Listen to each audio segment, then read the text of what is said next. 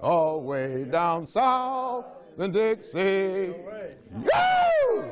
H.K. Edgerton is an African American activist for Southern Heritage, a member of the Sons of Confederate Veterans, and the former president of the NAACP in Asheville, North Carolina. Most of my life has been tied up in community and civil rights in some point. He spoke Sunday at Free Will Baptist Church in Socastee about the Confederate battle flag. He told the congregation the flag originated from the Christian cross. As I watch Jesus Christ and the Christian Bible under attack here in America, there's no greater motivation for me than to pick up the Christian cross of St. Andrew and to share what I know.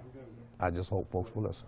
Edgerton says many people who are against the flag don't know the history behind it because they haven't been properly educated. My southern family is so low now.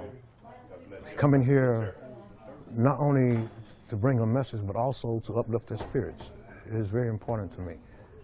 I wish that half the church was filled with my black family because they need to know. Pastor Darren Squires Sr. asked Edgerton to speak Sunday to talk about the flag's history and the current debate surrounding its symbolism.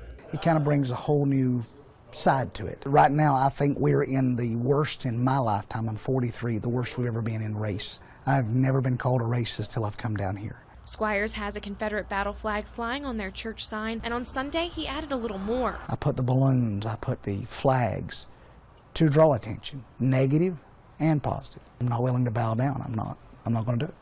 I've been here a long time, and uh, we stand our ground on what we believe in. And that's not the only way he draws the public's attention. Most of the people ride by a road will never come in church. I put, I put scripture up that entices people to look, to dig. I like it when they turn around and have to come back by. Squires says that's exactly what people did with their sign about Edgerton. In Socastee, Aaron McPherson, ABC 15 News.